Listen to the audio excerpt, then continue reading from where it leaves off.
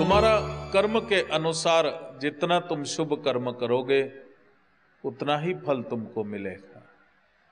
ना उससे ज़्यादा, ना उससे कम। और अगर अधिक की इच्छा रखते हो तो अपने शुभ कर्मों की बढ़ोतरी करनी होगी। जो मनुष्य अस्तेय का पालन नहीं करते, उनके जीवन में शुंभ और निशुंभ असुर प्रबल हो जाते हैं।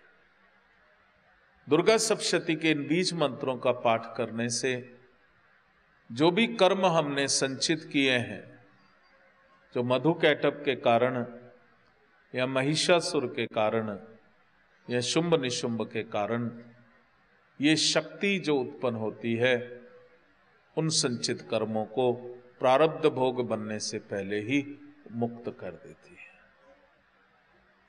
आप खुद देख लेना, एक महीना ये जो बीच मंत्र मैं तुमको करवा रहा हूँ, दुर्गा सप्तशती के, एक महीना पाठ करके देखना। सामूहिक रूप से सभी लोग इसका पाठ करके देखना।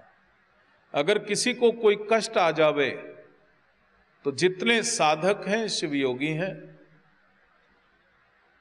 एक निष्काम सेवा भाव से उसके घर जाकर के दो चार पाँच दस लोग उसको भी साथ बिठा के इन बीज मंत्रों का पाठ करना। है आप देखोगे जो भी मुसीबत है, वो नेगेटिव एनर्जी के कारण आती है।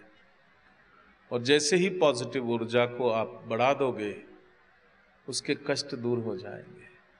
और यदि आप निमित्त बनते हो दूसरे के दुख दूर करवाने में तो आपको भी बहुत पुण्य मिलता है।